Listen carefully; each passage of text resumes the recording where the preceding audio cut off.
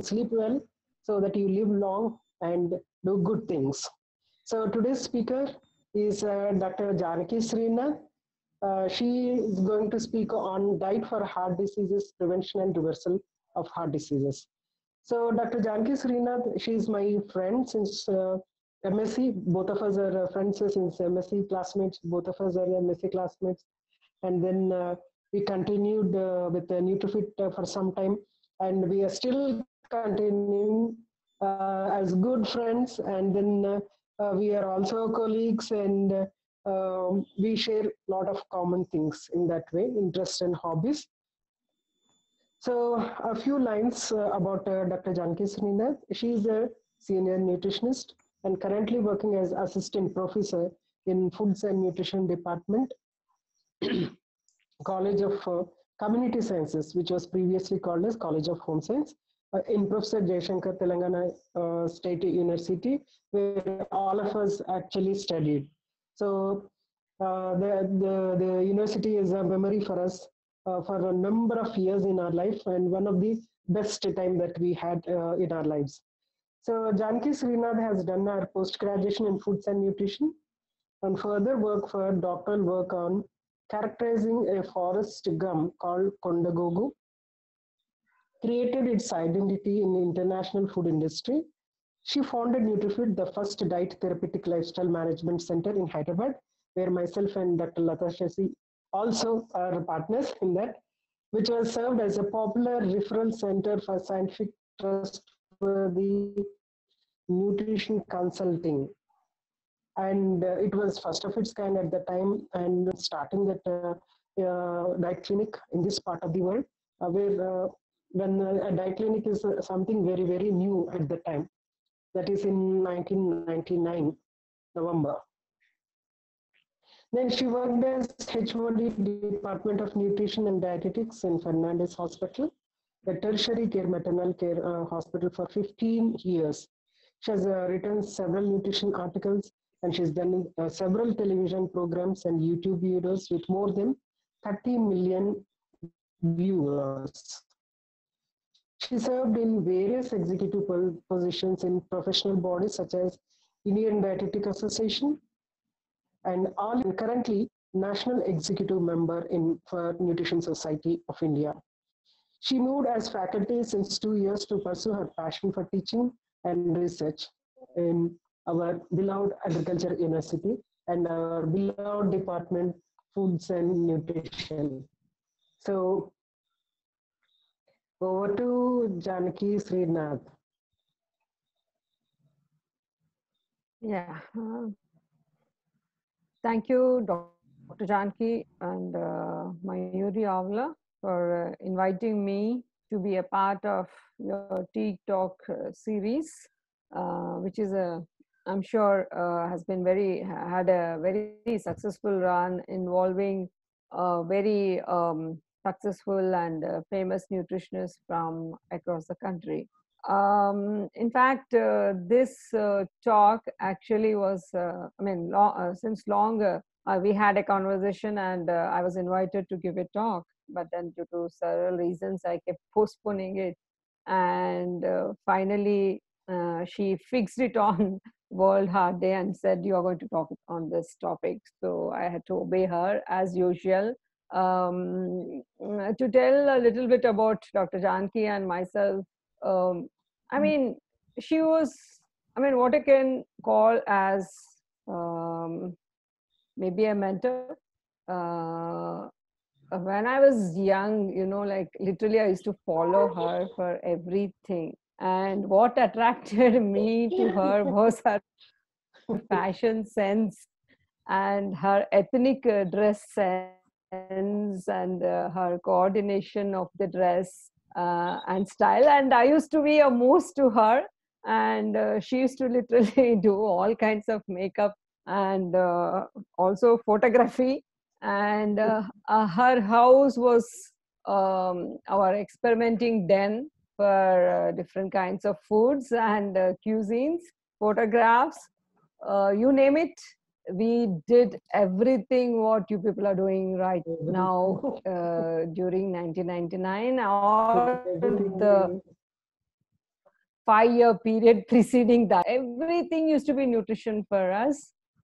Um, right from writing a letter to Dr. Gopalan, uh, sir, uh, Revered Dr. Gopalan, sir, uh, about our concept of writing, uh, I mean, starting a, a diet counseling clinic. Uh, we did that and uh, we were so blessed to receive his blessings in the form of a letter encouraging us to start a diet counseling center. And, you know, we all, I mean, literally, we were hell bent in completing our PhDs only to get that name and authenticity or um, of a doctor added to that so that people are more serious. And we were always looking out for avenues to provide scientific evidence based nutrition counseling beyond hospital because we never uh, believed that is the place to give nutrition counseling. We always always our fir- i mean firm motive of starting nutrition clinic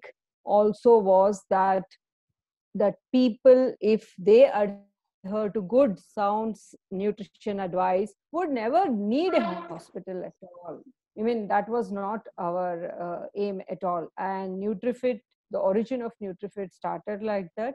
And as a friend you know if you say i can share a few things you know after doing msc and after getting a gold medal and after qualifying net uh, UGC, I think probably I was the first one to qualify UGC JRF and have utilized it also. You know, I was not interested to do my PhD. And both Janki and Lata joined for PhD. And I didn't do for one year. I got married and I was thinking of different options. And when the advertisement for PhD uh, I mean, notification came. In those days, we never had these kind of phones or mobile phones. She came with the notification, the uh, application form to my house, asking me to at least now apply and join the college, which was so sweet, you know, like, um, I mean, in these days of hectic phase of life, you know somebody come i mean we never really we just call or we share notification you know. In those days she took all the trouble to come home and uh, motivate me to join phd which i did un- at agriculture university but uh, i didn't continue that. I was always curious to know more techniques for analysis because i was already way beyond nutrition and i wanted to know what's happening inside the body with more techniques. Uh, so in that pursuance, I wanted to do PhD at NIN, but unfortunately, they were not ready to take a UGC uh, research fellowship holder, and they guided to me uh, to Department of Biochemistry, which still continues to run Department of Nutrition in Osmania University. So I ended up doing my PhD. Luckily, I met Dr. Sridhar sir, who actually joined as faculty position in Osmania University before I mean, after working at food toxicology department at NIN, and uh, he shared me the topic. He was ready with the topic and waiting for a candidate.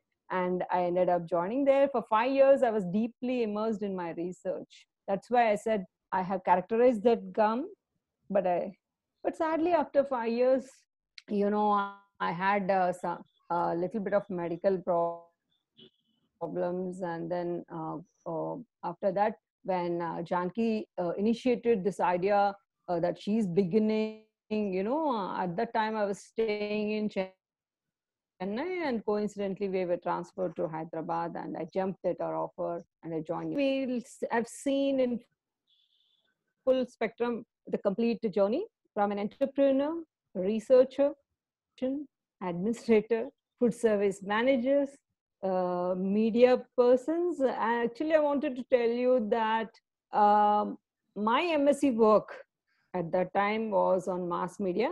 At that time, it was mass media, the era of mass media. And I was the first one to publish a full fledged article as an MSc student in Eenadu Sunday magazine. Wow. And Doordarshan so I did all at that time and the spree continued. So today now in, we are in this era of YouTubes and the Facebook and it's so easy now to just have our own live session wherein I had to wait to meet the Doordarshan director for two, three weeks to get an appointment. You know, they were thinking what this crazy student wants to design a program because it was a high security zone at that time. Yes. Okay. Now coming back to today's topic, i'll first uh, share my PPT. Uh, one second.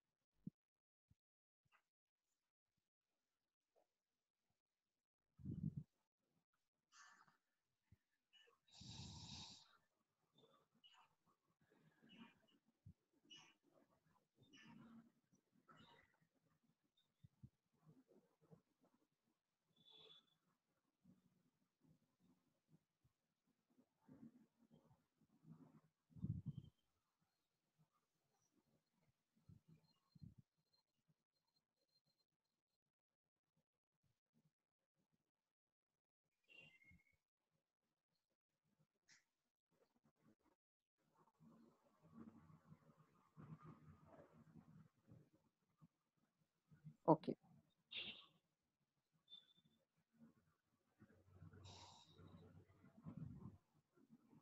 Uh, you're able to see the screen and am, I, am I audible? Yes, yes, Dr. Hello? Janki. Yes, doctor. Yeah. Okay. Yeah. Yeah. Yes, yes. So I chose this topic for um, uh, today's discussion. Uh, it is diet for heart disease um, prevention as well as reversal because this entire process happens in a continuum. Okay, why we should discuss this today? Because this is the cause for leading mortality. I mean, in India, and a quarter of all mortality is attributable to coronavascular disease and ischemic heart disease and stroke are the predominant causes uh, for CVD deaths. Okay, so if you see the global burden of disease study, uh, you know India has the highest death rates uh, compared to uh, the world average of 235. India has an average of 272 people dying for a lakh of people. Some aspects of CVD epidemic in India are causes of concern, including its accelerated buildup, age of disease onset in the population, and the case fatality rate, which we are very familiar now due to pandemic. You know, we all know now what is case fatality rate. So it's very high in India. So ischemic heart disease and stroke constitute 83% uh, uh, of the deaths, uh, I mean, of CVD and uh, IHD being the pre predominant one. Uh, so compared to the global uh, average, this is again more in India.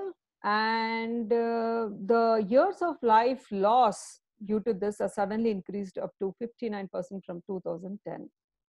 Okay. Hmm. So few scenarios which I wanted to explain because at one point of time, Indian diet was considered to be the most healthiest. Uh, but uh, what's happening in India? The rate of consumption of fruits and vegetables is low in India. This is contrary to the perception that Indians, being predominantly vegetarians, would consume adequate quantities of fruits and vegetables. And the National Family Health Survey, a large national representative survey, has reported that consumption of fruits and vegetables uh, for half of the population is either zero or only one serving, serving of fruit in a week.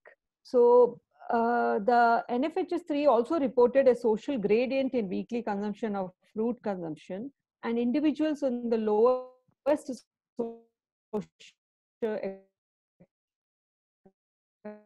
economic strata, high cost, the vegetables that are consumed are, are often overcooked and uh, that could lead to uh, vital loss of micronutrients. Even in the two most ec uh, economically prosperous states, Maharashtra and Tamil Nadu, uh, the we do not only 24% of Maharashtrians and 1% from Tamil Nadu adhere to the WHO recommended consumption of more than five fruits and vegetable consumption per day. So, but the calorie intake has not changed, but the total amount of fat intake has increased from 24 grams to 36 grams uh, uh, in the rural and 36 grams to 50 grams in the urban uh, scenarios. And partially hydrogenated vegetable oils with high trans fat uh, content uh, contribute significant portion of the total fat intake in Indians and the consumption of hydrogenated vegetable uh, oil is particularly common in urban adult some dwellers belonging to the lowest socio-economic status. But the carbohydrate uh, intake remained the, relatively the same. However, consumption of refined grain products increased in comparison with the consumption of whole grains. Also, I, I mean, I want to throw a few facts regarding the physical activity. The ICMR uh, India study assessed physical activity using the Global Physical Activity Questionnaire. And uh, the results say that one in every two individuals was considered to be physically inactive. In addition, 10, only 10% of the studied population engaged in some kind of recreational activity. And, and physical inactivity was higher in urban areas and for women. So in urban areas, the prevalence of, uh, sorry, one second.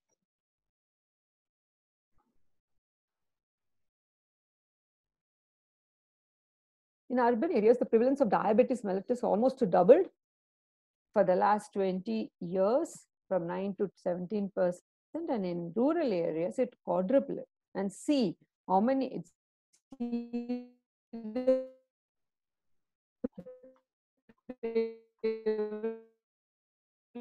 the treatment and the control is very minimalistic. And uh, serial epidemiological studies in India suggest a rapid rise in the mean levels of total cholesterol, low density lipoprotein cholesterol, and uh, cholesterol, uh, total triglyceride levels. Okay. Uh, a large proportion of people had at least one lipid abnormality among the population. Only 20% of the population had all lipid parameters within the normal range. And most commonly observed lipid abnormality was low, high density lipoprotein cholesterol. This was observed more often among those with lower levels of education. And then apart from the risk factors, long-term material deprivation, unhealthy living conditions, high levels of stress also appear to contribute to excess CVD risk among socially disadvantaged groups in India.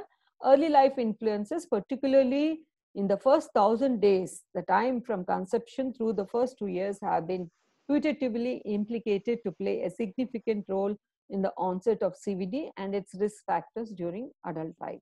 Maternal malnutrition, placental insufficiency, and the resulting fetal programming have been hypotheses to be associated with low muscle, high fat food uh, body composition, that is thin fat child, and reduction of the beta pancreatic beta cell mass and fewer glomeruli in the kidney. Because I've handled, you know, the experience of today talking about CVD comes from handling, the, I mean, hundreds of women who had pregnancy induced hypertension or are preg uh, hypertensive pregnant women because their BMI need not be more, but even if you, they put on weight during pregnancy, they ended up with placental insufficiency or pregnancy induced hypertension and HELLP syndrome.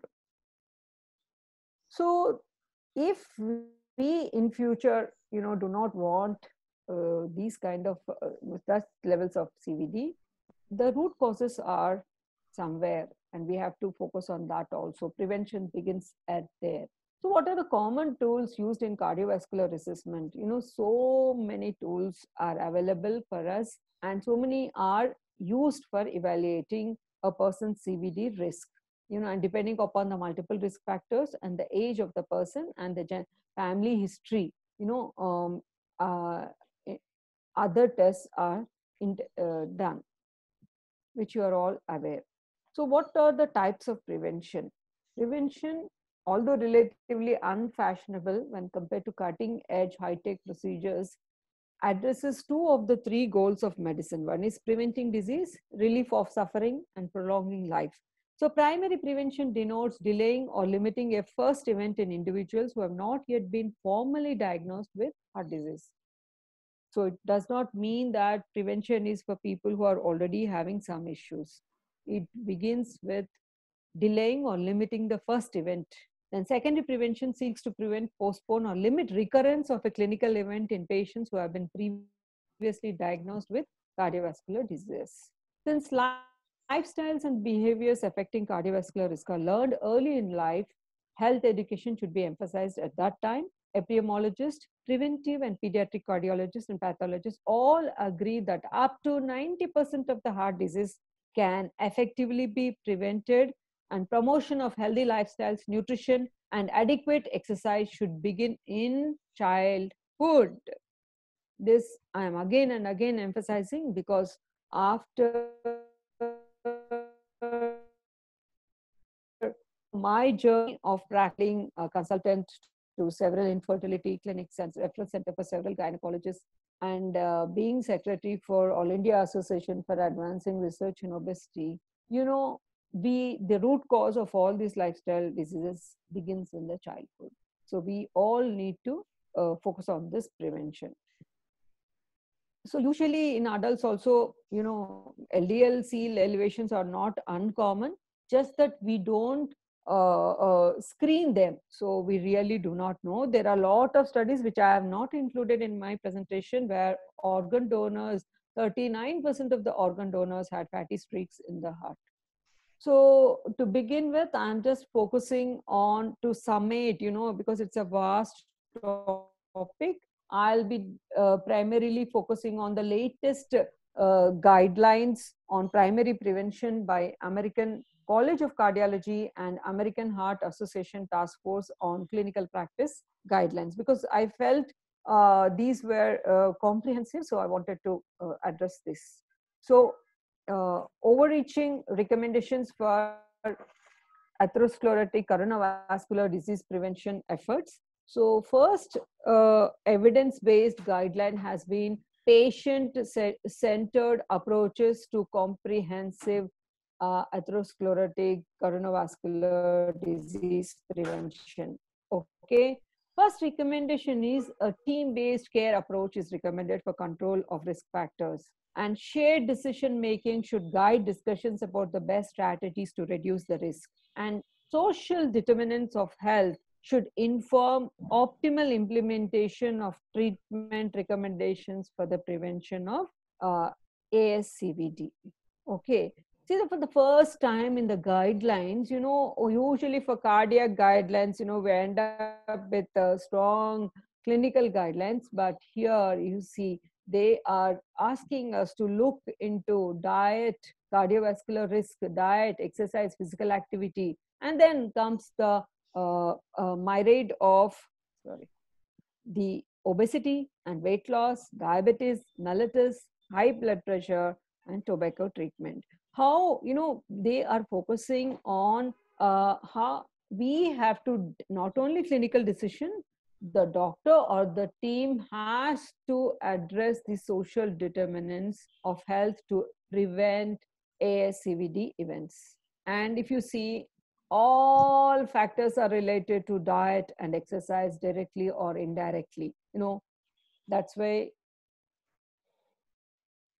okay so this you know depending upon the age depending upon uh, the familiar risk score there are a lot of decisions to be made. And it why i wanted to present this slide is all the nutritionists also should know that though i mean we though sometimes we feel they are young you know old you know now what we will do no both the things are wrong based on the age and the risk risk risk score. We have to decide on the goals and the combination of the treatment along with diet what kind of therapy or uh, interventions uh, and diagnostic assessments have to be done so patient enhancing factors for clinician, these are the patient risk discussion. Family history is very, very important. Family history of premature ACVD, males less than 55 years, females age less than 65 years, primary hypercholesterolemia. See, all these things, even a dietitian should be knowing what are the cutoff points and how they vary, why they are important. Uh, metabolic syndrome, increased waist circumference, by ethnically appropriate cutoff points, elevated triglycerides, elevated blood pressure, elevated glucose, and low HDL-C, that is less than 40 for men and less than 50 for women are factors. And a tally of three makes a diagnosis. Chronic kidney disease, you know, glomerular filtration rate, if it is between 15 to 59 ml, with or without albuminuria, not treated with di uh, di dialysis or kidney transplantation. Chronic inflammatory conditions such as psoriasis, rheumatic arthritis, lupus, or HIV AIDS. History of premature menopause, that is before age 40 years, and his pregnancy associated conditions that increase later ASCVD risk such as pre-eclampsia, high risk race ethnicity, that is we Indian, South Asian ancestry, lipids biomarkers associated with increased ASCVD risk, persistently elevated uh, persistently elevated primary hypertriglyceridemia if measured, elevated high sensitivity C-reactive protein, elevated L, uh, lipoprotein A and elevated ApoB uh, has to be focused into. Okay, now coming to the diet, what are the recommendations? You know, this has been summarized, so I picked up this a diet emphasizing intake of vegetables, fruits, legumes, nuts, whole grains, and fish is recommended to decrease the risk. Replacement of saturated fat with the dietary monounsaturated and polyunsaturated fats can be beneficial. A diet containing reduced amounts of cholesterol and sodium can be beneficial to decrease the risk. As a part of a healthy diet, it is reasonable to minimize the intake of processed meats, refined carbohydrates and sweetened beverages to reduce uh, ASCVD risk. You know, the, the inclusion of sweetened beverages is a big uh, thing for nutritionists now. Uh, and as a part of healthy diet, the intake of trans fat should be avoided or to reduce ASCVD risk. So overall, many studies, you know, these are all based on thousands of studies. Uh, what they have highlighted is plant-based and Mediterranean diets, along with increased fruit and nut vegetable legume and lean vegetable or animal protein. Soluble and insoluble vegetable fiber have consistently been associated with lower risk of all cause mortality than control or standard diets in observational studies. So one thing I want to highlight also is most of these studies are observational studies only. So we really cannot pinpoint that this is what it is. So over the years, we are slowly moving from, uh, I mean, uh, putting on only on healthy oil to only focusing on salt intake to a wholesome, complete diet with focusing on different food groups.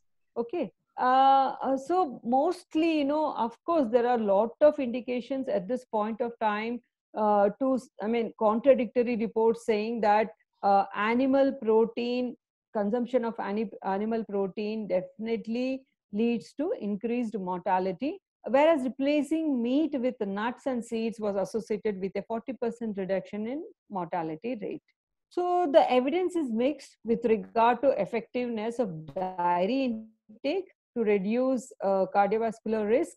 Uh, that's why it is not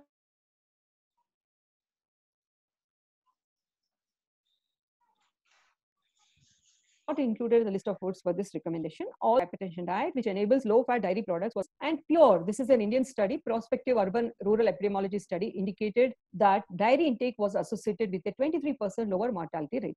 So, because it's still uh, uh, uh, not yet included in the recommendation, but we Indians we know, and as nutritionists we know that definitely low-fat uh, milk products can be helpful, especially if we go by the Indian pattern of diet.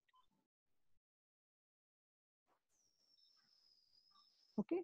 So trans fats and saturated fats have been associated with a higher risk of total and cause-specific death. However, observational data from pure trial suggested that when used, instead of refined carbohydrates, saturated and unsaturated fats were associated with reduced stroke and mortality. Please note this point for Indians.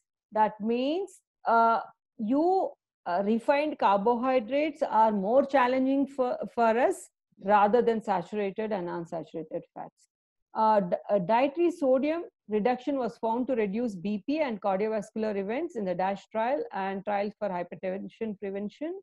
And uh, uh, they suggest a, a, consumption of more than 2000 milligrams per uh, daily, red meat more than 14 grams per day, and sugar sweetened beverages and processed red meat consumption were associated with cardiovascular death. Okay.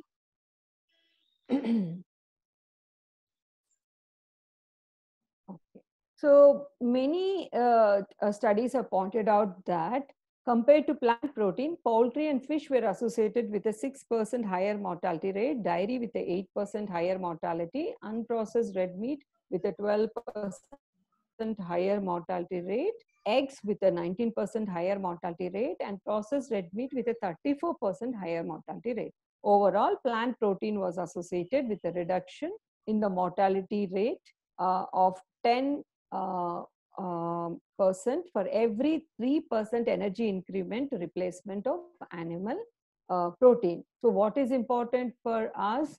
Trans fats, uh, refined carbohydrates, um, then sugar sweetened beverages, then um, plant protein. Plant protein is beneficial. So, so because of uh, sugar sweetened and artificially sweetened beverages have been correlated with increasing development of diabetes and coronary disease with a 20% increase in the frequency of diabetes with one daily serving of these sweetened beverages. So consuming diets with juices and sweetened beverages, refined grains, potatoes, fries, and sweets resulted in a greater increase in coronary events than the increase seen with consumption of, of animal products. So intake of trans fat has been shown to be harmful and increased risk of uh, CVD. So trans fats were associated with higher cause of mortality rate uh, with regards to health, uh, several studies. Additionally, regulations to curb use of trans fats in the food industry have been associated with a decrease in stroke and uh, myocardial risk.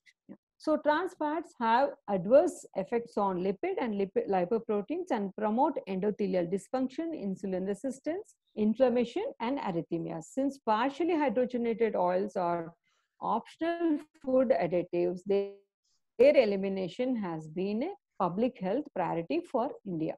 Okay, so these are the important points. Of course, we all know exercise is a very, very important and we have uh, the healthcare workers or the team has to emphasize on exercise prescription is what I call. Adults uh, should be counseled routinely for active lifestyle intensity or 75 minutes per week of vigorous intensity aerobic physical activity or a combination of moderate and vigorous uh, activity. So, uh, and also decreasing sedentary behavior is very, very important to reduce cardiovascular disease risk. Okay. So there were a lot of uh, uh, questions about uh, whether aerobic activity is more beneficial or resistance training is important. See, for the overall body's health, uh, a combination of two is important. But if you see particularly cardiovascular disease, aerobic physical activity tends to have a much larger beneficial effect than resistance training.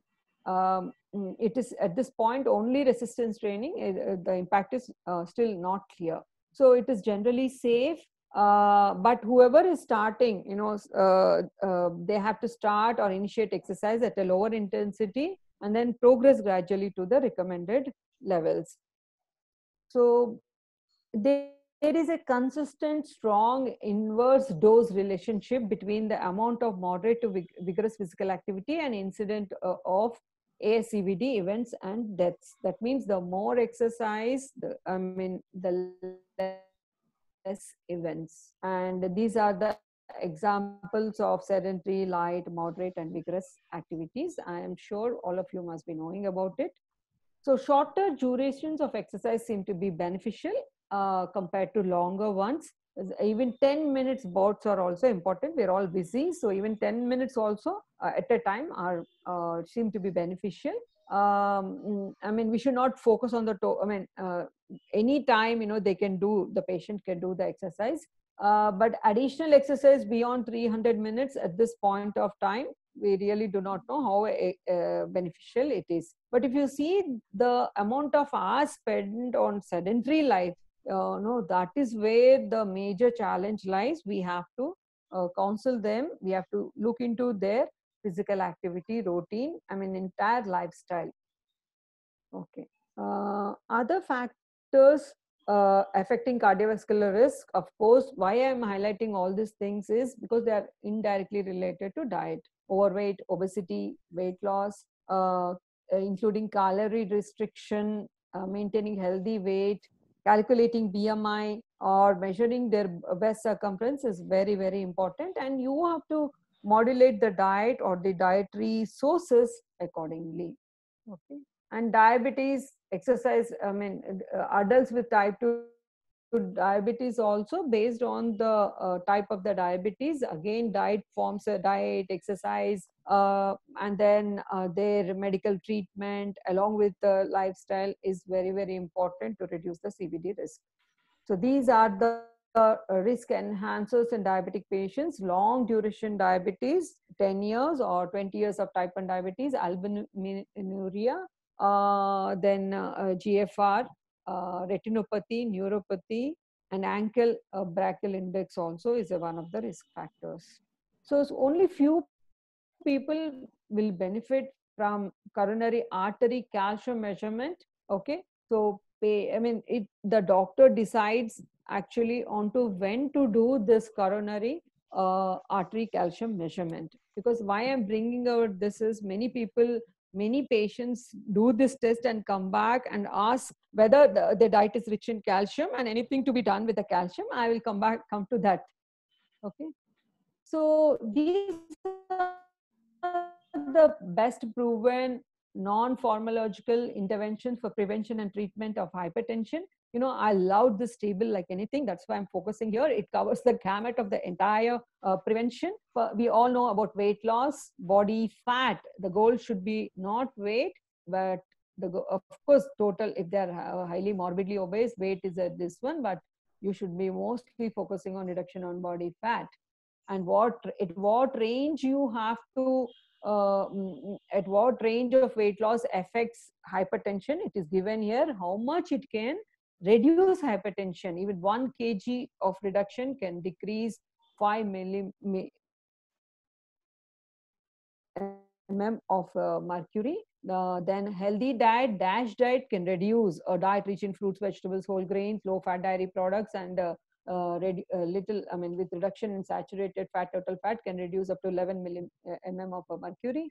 Then dietary sodium in, uh, restriction less than 1500 mg per day um, can reduce up to five just to salt five to six in salt sensitive individuals. I, uh, now today also i'm very happy. Yesterday in the rda recommended by released by nin for the first time they've added dietary protein intake uh, actually recommendations. Aim for uh, 3500 to 5000 milligrams per day preferably by consumption of a diet rich in potassium that can only singularly reduce uh, hypertension then you have impact of aerobic activity, dynamic resistance, isometric resistance. Then, uh, you know, all, of course, moderation, uh, alcohol consumption also can, uh, that is from a stress perspective, can have a, a positive effect on decreasing hypertension. Okay, so based on different uh, factors, okay, how ag aggressively a patient has to be, uh, uh, I mean, followed up for CVD will be different and the goals also will be different. Uh, what kind of LDL goals you should the doctor is looking at or what kind of triglyceride goals the doctor is looking at are mentioned in this guideline. I request you all to go through that. Okay, and so also the cholesterol recommendations or the target levels of uh, cholesterol will vary depending upon the age of the patient and the combined risk factors and the kind of treatment uh, the doctor is intending to do and uh, what profile see uh, the patient will not have all levels high some patient will each patient will have a combination risk factors and even the metabolic profile also will be different some will have low hdl some will have high crp some will have a, a high total LDL more. So and some so based on that, the levels are different. So that is where the dietitian should focus and aim and counsel the patient and so aggressively accordingly change the diet. Of course, these are all due to uh, I mean tobacco and aspirin, which we all need to be aware of. Okay, this is for prevention okay most cardio cardiomyopathy prevention that is prevention of risk factor development and control of traditional cardiovascular risk factors that is the genetic risk factors. Uh, tobacco avoidance is very very important but unfortunately now we see a great level of uh, increase in smoking. Uh, a diet high in fruits, vegetables, and whole grains, fish, legumes, poultry are preferred sources of protein, minimizing the consumption of trans fats, added sugars, including sugar sweetened beverages, red meat, sodium, saturated fats is also important.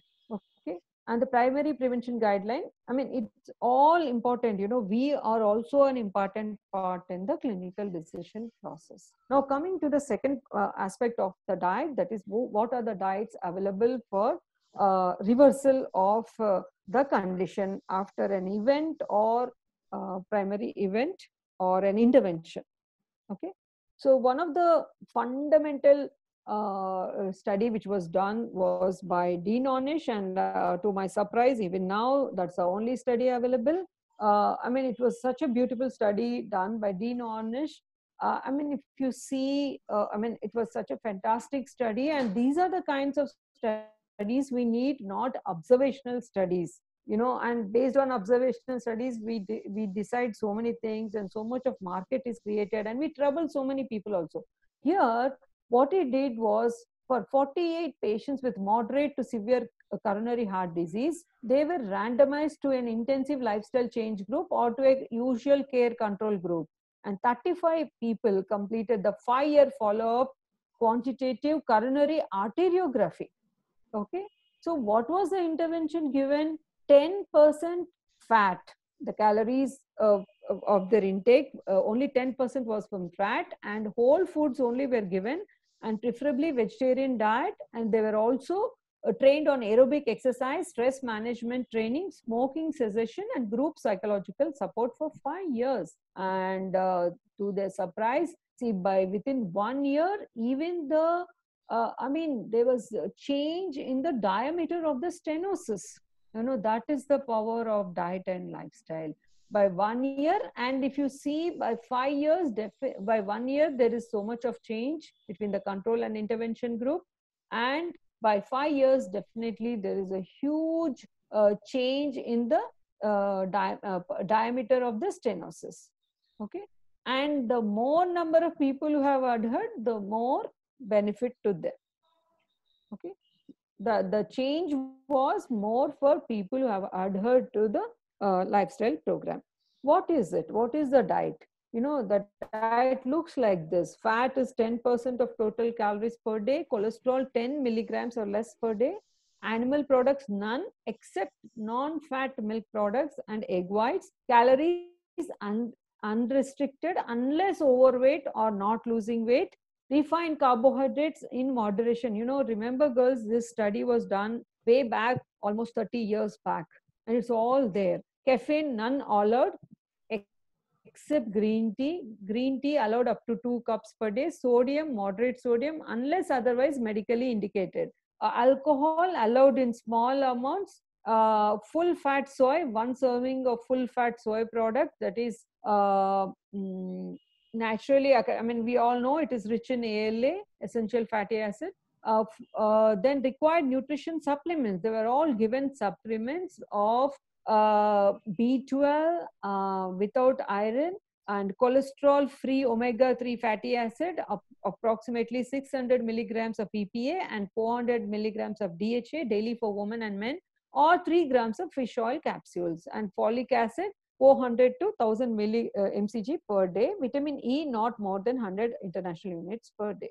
And these were all monitored by uh, medical doctors so they were allowed to you know they were given all these options way back then whole grains vegetables fruits legumes um, non-fat sweets egg whites, non-fat milk products. So the study has uh, beautifully quantified the uh, uh, I mean reduction in the stenosis and reversal of the heart blocks itself. Then you have another wonderful diet, which we have already discussed. It is called DASH diet, dietary approaches for stopping hypertension. And uh, what is there in this diet again? See, this diet also uh, emphasizes that blood pressures were reduced with an eating plan that is low in saturated fat, cholesterol, total fat, and that emphasizes fruits, vegetables, fat-free or low-fat milk and milk products. And this, this is known as DASH diet, but it includes whole grains, fish, poultry, nuts, and it is reduced in lean, uh, I mean, uh, lean, red meat, sweets, added sugar, sugar-containing beverages compared to a typical American diet. And this diet is rich in potassium, magnesium, calcium, as well as protein and fiber.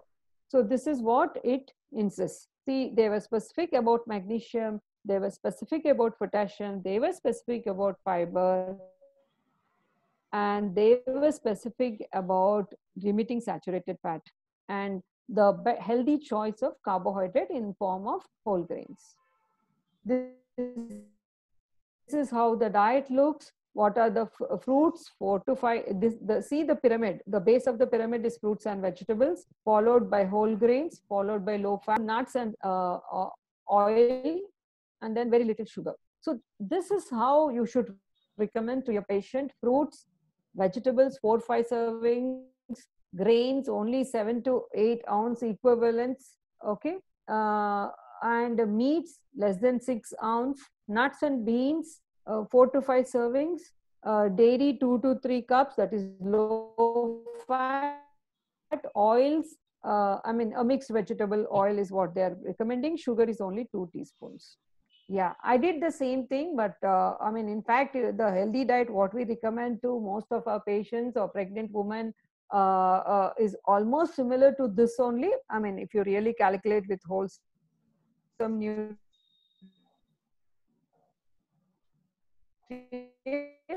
but the challenge was uh, our dietary patterns wherein we end up eating like two three curries in one meal much uh, so the salt intake is boomer meal should be uh, single pot meals then we can actually uh, control a lot of salt intake. Okay now coming to uh, uh, okay coming to you know this topic is not included here but still i wanted to tell you because i have done i mean i've done lot of in-depth this one on ketos podium available. And discussing that. You know you might be asking what about ketogenic diet? What about low carbohydrate? Can we uh, you uh, use them for uh, obese patients with hypertension or cardiac disease? So that's why i have got this. Um, so many studies uh, or you know how do you classify the diet? I mean these are all vague terms. You know moderate carbohydrate is the energy from carbohydrates in the diet is 26 to 45 percent. Low carbohydrate, high fat diet, 26% of total energy intake comes from uh, carbohydrate or less than 130 grams of carbohydrate per day. Very low uh, carbohydrate is the ketogenic uh, diet wherein uh, the carbohydrate is only 20 to 50 grams per day and less than 10% of daily kilocalories if it is on a 2000 kilocalorie per day. So the individual responses vary. Ketosis usually occurs in people who restrict their carbohydrate intake to below 20 to 50 grams per day with some degree of protein restriction. In practice, however, low carbohydrate, high fat diets typically produce a reduction in hunger with the result that the individual total calorie consumption will usually decrease in low carbohydrate, high fat diet sometimes significantly. So, I mean, uh, I mean, what is the difference? Okay, uh, is there any difference between low carbohydrate, high fat diets and weight loss after 12 months? Uh, one is the ad libitum low carbohydrate fat diet, and the other one is low fat, high carbohydrate diet. If you compare that after 12 months, the low carbohydrate, high fat diet group had lost significantly um, more weight than the low fat, high carbohydrate group. And they experienced a, a 1.5 percent decrease in more more decrease in body fat compared to low fat and high carbohydrate group and uh, effects of ketosis on hunger and satiety during the ketogenic period subjects reported less hunger confirming previous studies on hunger suppression effect of ketogenic diet. Despite these clinical findings the mechanism of action of ketosis or appetite reduction is still not completely understood. Um, okay. Prescribed and documented you know, there are a lot of studies. I picked up this from my other other presentation you know we always wonder okay ad libitum okay eat as much as you want. Will it lead to extra calorie intake? No. Several studies have documented energy intakes on a selection of low carb high fat diets and high carb low fat diets. If you see um, low carbohydrate high fat diets the intake is actually le- uh, i mean this is what is the intake.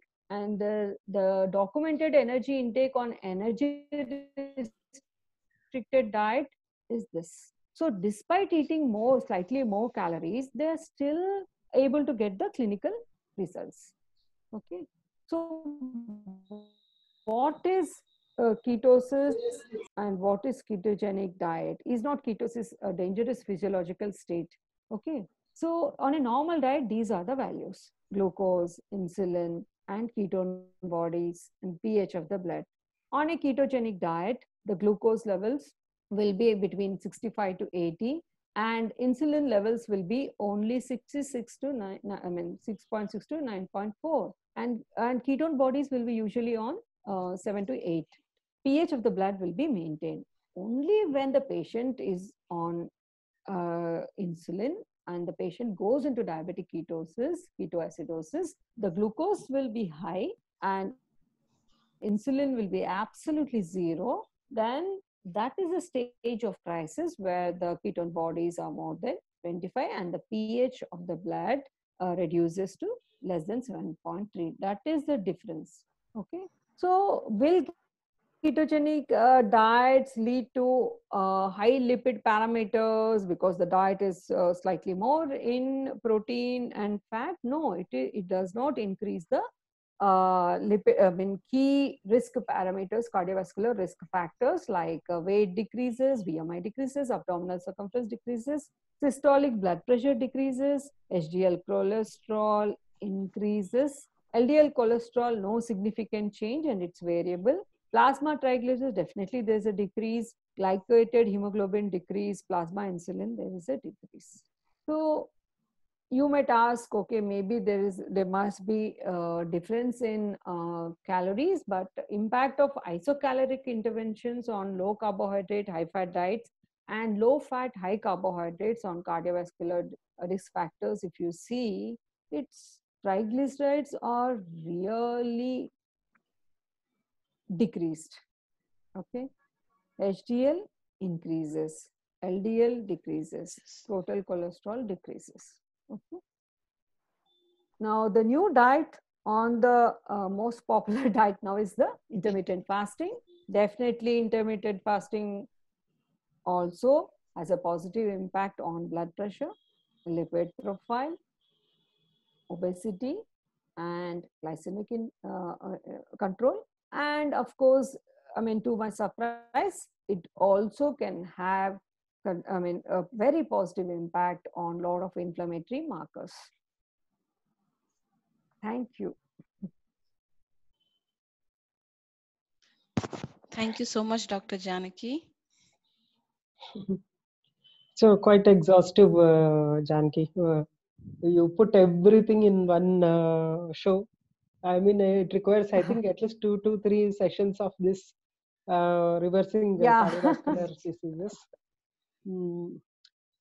Uh, one of the questions uh, asked, you can stop sharing the screen. yeah yeah but just hold on Hmm. Best part was first, initially, it took me back to college days. Yeah. Maybe uh, I used to visit your home because I really uh, love that old your your father in police department and uh, you were living in police quarters and uh, yeah we used to see a lot of horses around and greenery. That's what most attractive i'm not able to one second. I'm not able to stop the screen share. One second. Yeah, yeah. I just got it. Okay. Um, yeah, yeah. One second. In the, in the middle down there. Okay. Yeah. Yeah, no, no. So, uh, Priyanka, she's asking you